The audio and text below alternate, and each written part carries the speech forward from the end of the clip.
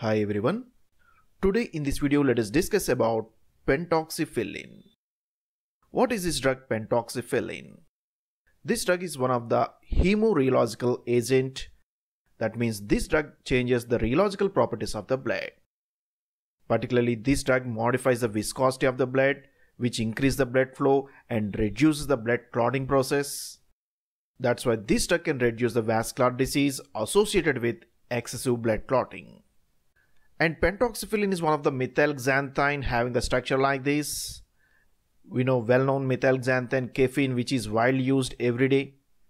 Similarly, theophylline, theobromine, all these are methylxanthines. But among this category, pentoxifylline is one of the drug which is used to change the blood viscosity and this medication is particularly used in the treatment of peripheral vascular disease. So in those people who are having the reduced blood flow and increased risk of clotting, pentoxifylline can be given in order to increase the blood flow by changing blood viscosity. That's why it is called hemorheological agent. So today in this video we are going to see how this drug acts, what are the important precautions, side effects, doses and chemical structure, all these things we will discuss in this video. First of all let us see how this drug acts. As we have discussed earlier, pentoxifylline mainly reduces the blood viscosity. One of its main action is to increase the ATP levels and when these ATP levels are increased within the vascular cells as well as in the erythrocytes, it can reduce their attachment to the blood vessels as well as it can reduce their aggregation. So when these erythrocytes are not aggregated and attached to the blood vessels, the viscosity of the blood can be reduced and the blood flow can be improved. Similarly, another factor for reduction of blood flow is the formation of fibrin mesh. Fibrinogen is one of the precursor which can be converted into fibrin meshwork which can reduce the blood flow by forming a dense clot within the intima of the blood vessel. This fibrin is generally formed when there is a tissue damage but in few of the people with any risk factors for increased coagulation cascade or in those people with elevated levels of cholesterol this fibrin formation is more enhanced, resulting in the decreased blood flow. In such conditions, again pentoxifylline can inhibit the conversion of fibrinogen into the fibrin so that it can reduce the formation of clot within the intima of the blood vessel. Similarly, another action of pentoxifylline is to increase the fibrinolysis so it can dissolve the already formed clots, thereby it can further improve the blood flow. All these factors combinedly produce decrease in the viscosity of the blood which increase the blood flow.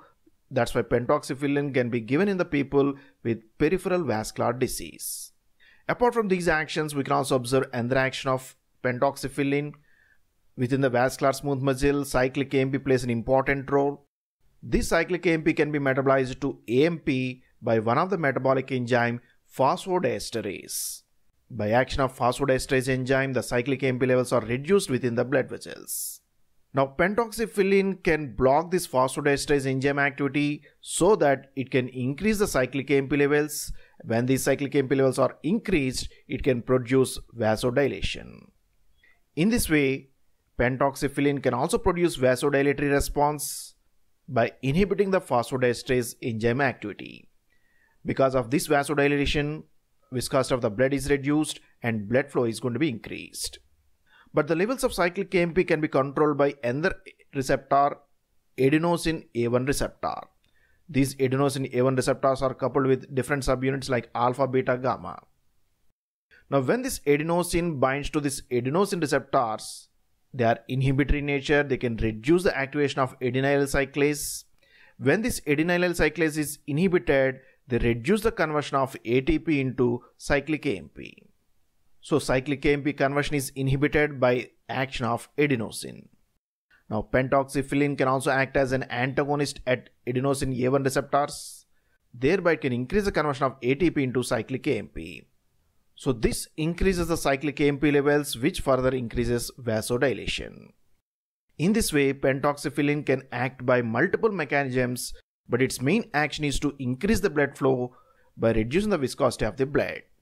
It mainly inhibits the erythrocyte aggregation and their attachment to the blood vessels and it also improves the vasodilation.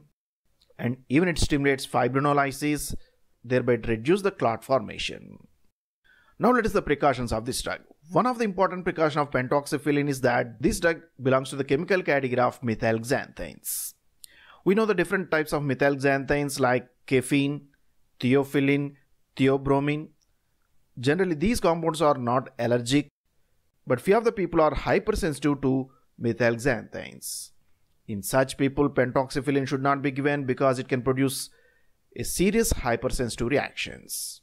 Similarly, second precaution is that pentoxifylline can reduce the blood viscosity, so it is somewhat useful in the treatment of atherosclerosis, which is associated with abnormal clot formation due to, due to excessive levels of LDL cholesterol. In such conditions, pentoxifylline can improve the blood flow.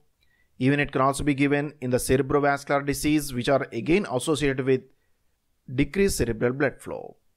In these disorders, pentoxifylline can improve the blood flow, but at the same time, this drug may increase the risk of angina, hypotension, and arrhythmia.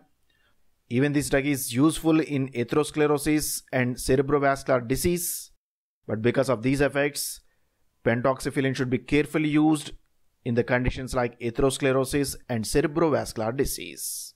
And any sudden increase in the chest pain, angina, reduction of blood pressure should, should be immediately monitored. Another effect is on the warfarin. Warfarin is one of the oral anticoagulant. This drug can produce some hemorrhage. That's why the dose of warfarin should be strictly monitored. But when this warfarin is combined with pentoxifylline, the risk of hemorrhage is more pronounced because pentoxifylline can reduce clot formation as well as it can increase the blood flow. So while using with pentoxifylline, warf warfarin dose should be adjusted and risk of hemorrhage should be monitored.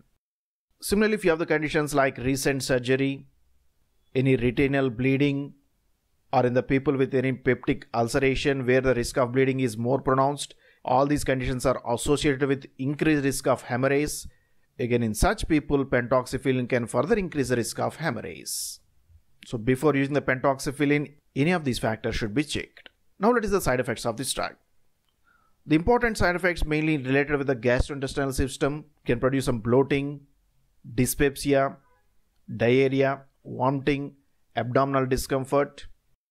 It can also produce cardiovascular as well as central side effects like chest pain, palpitations, flushing, redness of the skin because of vasodilation, even some dizziness and blurred vision can be observed with this pentoxifylline. Now let us the chemical nature of this drug. So this is the structure of pentoxifylline. We can clearly observe methylxanthine ring system. Let us give the numbering. We can start the numbering from the nitrogen. So this is 1, 2, 3, 4, 5, 6. So first we have to give the numbering to this 6 member ring system. Then 7, 8 and 9. This is the common numbering system for the xanthines. This xanthine is having the methyl groups at third and seventh position. So we can write this as 3,7-dimethylxanthine. Now at the first position is having a long side chain. Let us give the numbering. This is 1, 2, 3, 4, 5 and 6. So it is a hexyl chain with oxo group at the fifth position. So we can write this as 1 dash 5 oxohexyl.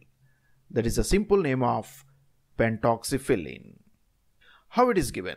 This drug is available as a tablet, particularly extended release tablet at a dose of 400 mg and the initial dose of the drug is started at 400 mg given 3 times a day and the dose can be continued up to 8 weeks even the effectiveness can be observed within 2 to 4 weeks of the treatment but its uses may be continued up to 8 weeks and sometimes up to 6 months but in few of the people where the risk of bleeding is more pronounced then the dose may be reduced so here the recommended dose is 400 mg 3 times a day that means total daily dose is 1200 mg. But in those people with increased risk of bleeding, the dose can be reduced to 800 mg given per day as divided doses. So 400 mg tablets can be given two times a day. So that's all about this drug pentoxifylline which is a hemorheological agent. This drug reduces the blood viscosity and improves the blood flow acting in several ways. It acts as a phosphodiesterase inhibitor, thereby it can increase the cyclic AMP levels, which increase the vasodilation. And it also increases the ATP levels within the erythrocytes, which decrease their attachment to the blood vessels and reduce their aggregation. Even it blocks the fibrin formation as well as it stimulates the fibrinolysis, thereby it can increase the dissolution of the clots. All these actions may improve the blood flow by reducing the viscosity of the blood. But hemorrhage is one of the important uh, precautions that should be considered with this pentoxifylline. And this drug can produce few of the gastrointestinal side effects as well as cardiovascular side effects like chest pain, palpitations, central side effects like dizziness and blurred vision. So that's all about this medication pentoxifylline. Hope you have enjoyed this video. If you like this video, please subscribe to our channel, share this video with your friends, post your comments in the comment box. Thank you for watching this video.